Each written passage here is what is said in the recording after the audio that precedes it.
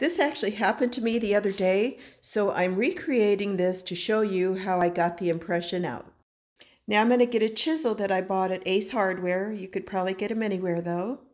But I did sharpen the edge up just a little bit. And I'm just putting it at the edge of my, my piece, tapping that off. Okay, now I'm going to attempt to get the pressing out.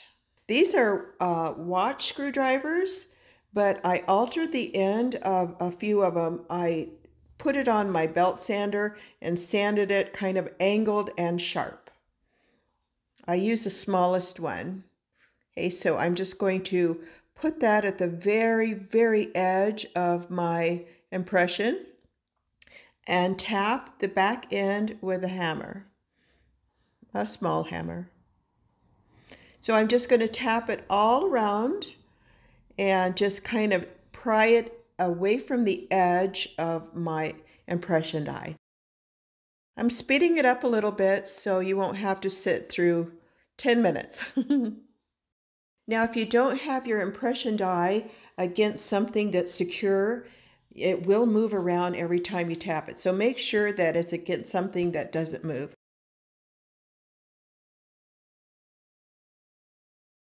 See, I'm just going all around, just a little bit at a time, just prying the edge away from the uh, impression die.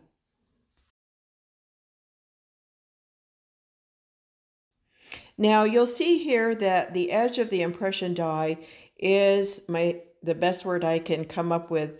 It chingers it up a little bit.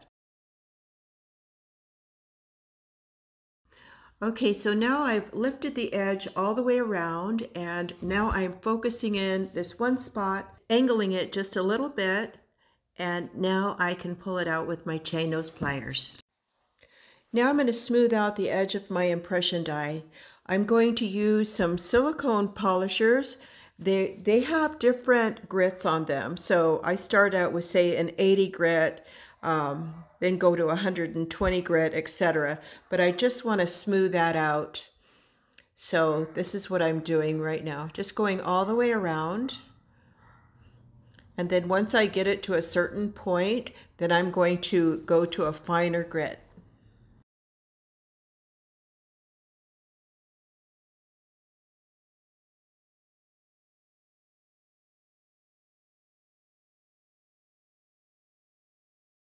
Now that I've removed most of the little roughness where I messed it up, uh, now I'm going to go ahead and use the radial disc on there.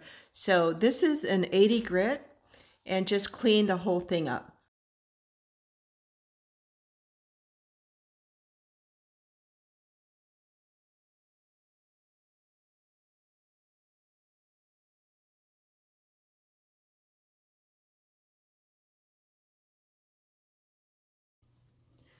Okay, good as new.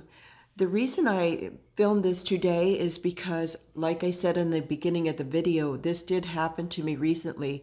I had borrowed an impression die from a friend and it stuck that bad. So that's how I got it out. So I thought, in case this happened to you and you weren't quite sure how to get it out, I recreated everything I did to show you. And now, if you do it a different way, if yours gets stuck and you do it a different way, please share it. Okay, I pressed it a second time and it looks great. So thank you for watching.